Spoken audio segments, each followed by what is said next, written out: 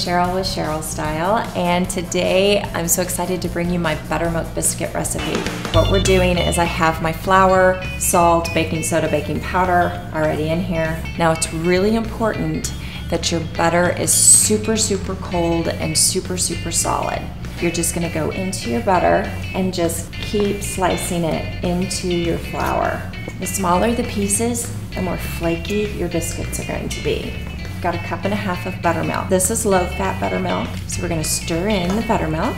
And you don't wanna overwork it. You just want to mix it up just enough. The dough is starting to fight back and you know you're getting there. I'm gonna rub a little bit of flour on my hands. Add a little bit of flour to my top. So what you're gonna do now that it's all in this nice little ball is just push it out. Now I want those big flaky biscuits. So again, I'm not gonna work it too much because you want that butter to stay coated in the flour so it creates those layers. Okay, so I'm gonna coat my measuring cup cookie cutter with a little bit of flour and then just cut out my biscuits. I've got my greased cookie sheet. And we'll put them in an oven at 475 for 10 minutes. Have buttermilk biscuits. Look at that biscuit. 10 minutes and you look like a rock star.